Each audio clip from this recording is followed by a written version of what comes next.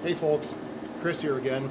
Now, you know, there are several videos out there on YouTube about the 64-foot uh, here at Boardwalk Hall, and most of them just show you this.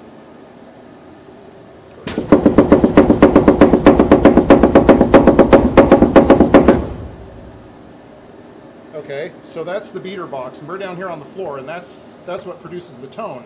Now, that's cool, that's great, but what I want to know is, what's going on at the other end of the pipe? So that's what we're going to show you today. And so I'm going to turn the camera around.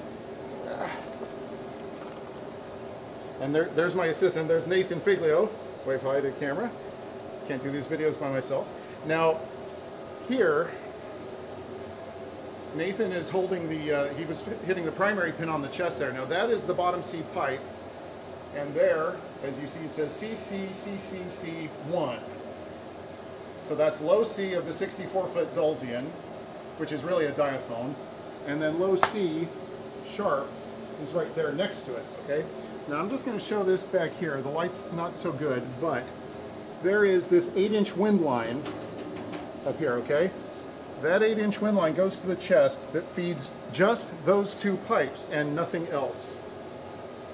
An 8-inch wind line for two pipes. You're not going to find that many other places. Now, around the side here,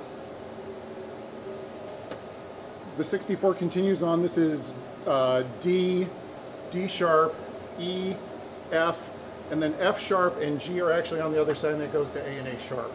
But these are the bottoms of the diaphones down here. Okay, now I'm going to go up to the next level and Nathan's going to stay down here. I'm going to show you what happens to the rest of the 64 as it goes up through the other chambers, or goes up through the other sections of this chamber.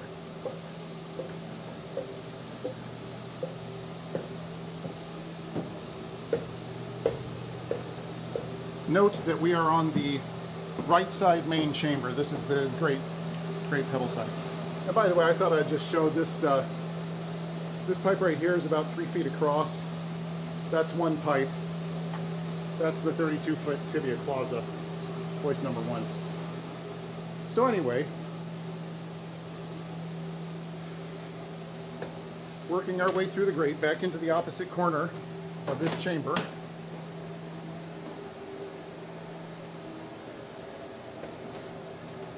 Okay, there is low C. All right, and low C sharp, you can't really see around behind the corner there and then there's D, D sharp, E, F, and so on like that. And if you look down there, there's the bottom of the pipe where I just was. Okay, so the 64 is starting on this level, or on the last level. Oh, there we go. Okay, and there is low C sharp. Okay. All right, now we're going to go up another level.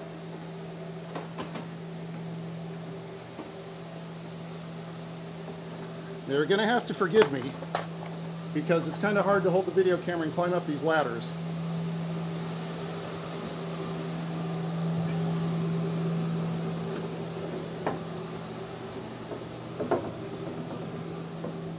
Actually, I should say it's hard to go up these ladders and hold the video camera at the same time. Okay, now we've gone up another level. We're in front of the Great Solo. And just for reference, we can look out at the auditorium up there.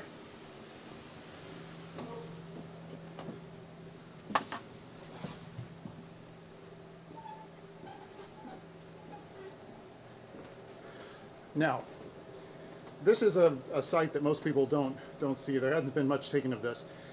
These are the upper notes of the 64-foot octave here, and these pieces of wood with all the screws are sort of like the reinforcement of the miter. So the pipe is coming up, making a 90 degree turn, and then going that way. And you can see the tuning slide right there. See that? So this is, uh, I forget if that's A or A sharp, then G, and so on, on up. The 64, the low notes are back there, kind of hidden behind the uh, Great Solo reeds really can't see them that well. Oh, you can kind of see it peeking out back there. See, there's one, and the other is behind those reeds there. And here's another one of these nice uh, rank lists for the chest. Okay, now we're going to go up another level.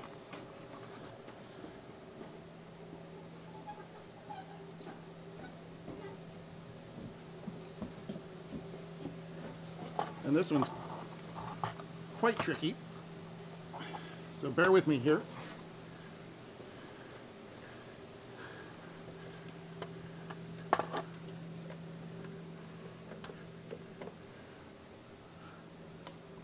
Okay, now we are on the top level of the grate. And if we look down, we're looking down about 40 feet to the bottom of the chamber.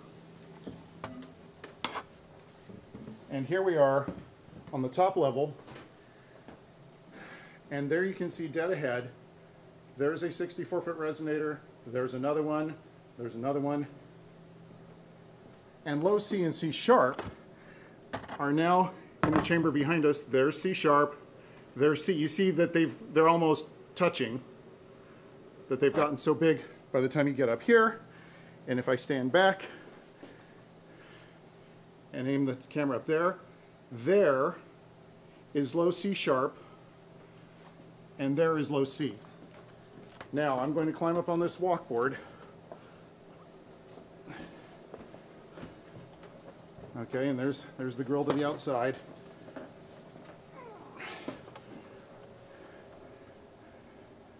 We're looking down, and you can actually hear the echo. This is low C sharp, and this is low C. And the reason that I put a garbage bag over the end is to see what kind of reaction we have when the pipe is played, because I really don't know how much it puffs out or what.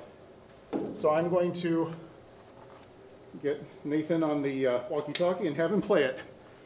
And uh, this is going to be very interesting. So if you'll bear with me.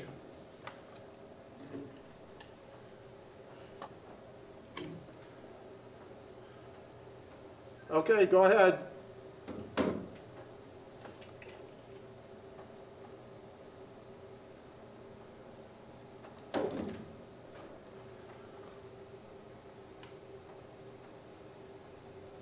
Go ahead and play it.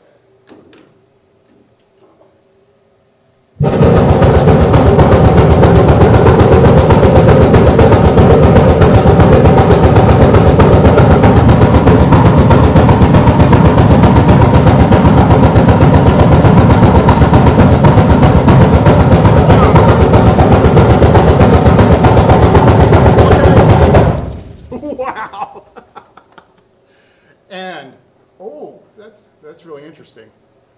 Um, it kept vibrating a ways after. Hey, Nathan, um, turn it on, uh, give it about three beats and then turn it back off.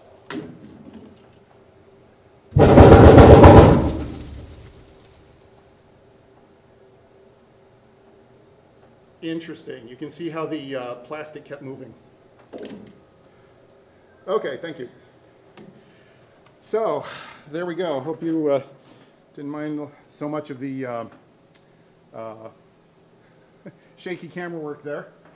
But that's something I've always wanted to see for myself, and now my uh, curiosity is satisfied. So, from uh, Boardwalk Hall, November 4th, 2019, over and out.